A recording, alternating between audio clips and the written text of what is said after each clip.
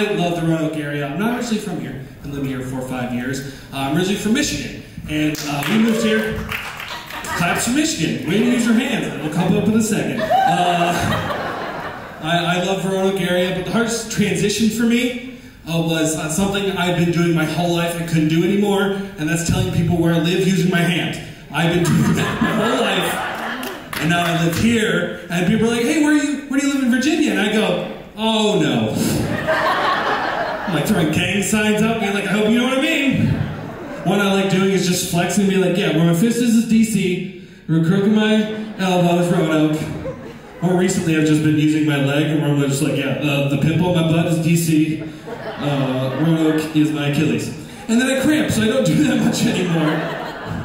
Uh, but I do like Roanoke. When I first moved here, though, Charlottesville just happened. And I was, yeah, that was my exact thought. I'm like, oh no.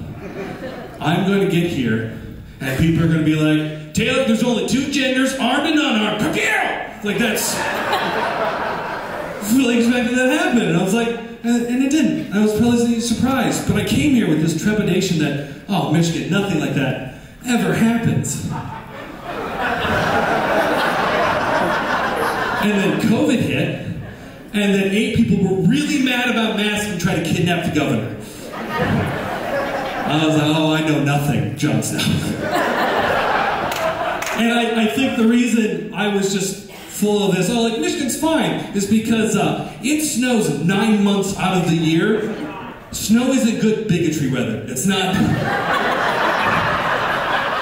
it's hard to be prejudiced when you have like frostbite. It's it's not a good motion there. Uh, but um, people people just have biases. That's that's where this all comes from. And I think with there not being snow in the south, that's why you hear it so much more often. it's not. It's warmer, and then like five years with uh, with global warming, we're just gonna find out Canadians are also assholes. oh, they're not very nice, and they have hockey sticks. We should run. Uh, but there's biases, and you should recognize your bias. Like my myself, I have a bias towards smoking. My mother died when I was young from lung cancer. Not a big fan of smoking, and I would let that be known. And someone finally just kind of like snapped at me. It's like Taylor, your lifestyle is just as unhealthy as mine. And I said, you know what? You're right. But there's no such thing as secondhand cholesterol. Shut the fuck up.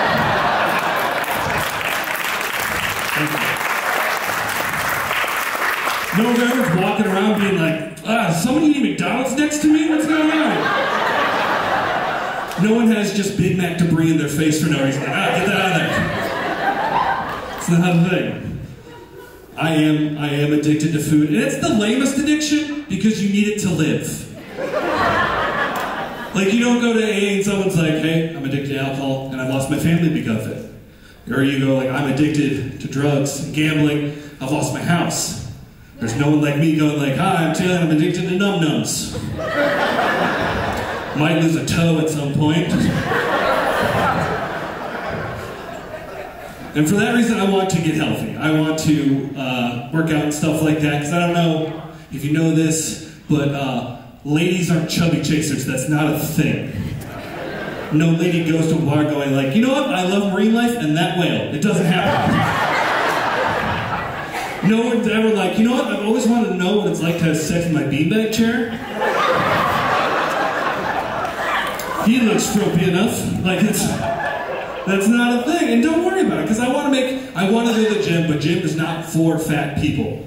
They, you know, the best gyms out there, Planet Fitness, it's a judgment-free zone. No, it just means you can't use your words. Your eyes say plenty else. And that's why I want to make my own gym just for fat people. Call it Curves. Now I know there's a women gym called Curves. I'd rename that to Estro Gym, because it makes way more sense. Or if that went over your head, maybe uh, bumps, lubs, and bruised egos, maybe. That'll work. I love that. But uh, before I get out of here, guys, I want to tell you uh, a fun, fun little fact about me. Um, I, and hear me out, I was almost a sex offender once. wait, wait. It was nothing nefarious. What happened was, is in fourth, fifth grade, really young, they were teaching us about the sex offender list. I don't know how you go on sign and see, hey, who in my area is a sex offender? Who should I watch out for? And I was like, I want to know. I'm a peach. So I go online, and I can't find the list. I can't find anything on this list. And then in the corner it says sign up. I'm like, oh. Be a member of this site to find the list. I know how Yahoo Mail works. It's the same thing. No. And I want the story to end there. I want it to end where I'm like, and I realized I was a dumbass. No, I'm signing everything name, phone number, all of this. It asks me which offense I'm signing up for. I'm like, all of them. Why would I pick which one I need to see? And just click all the buttons. Guys, that has been my time. Thank you so much for coming out.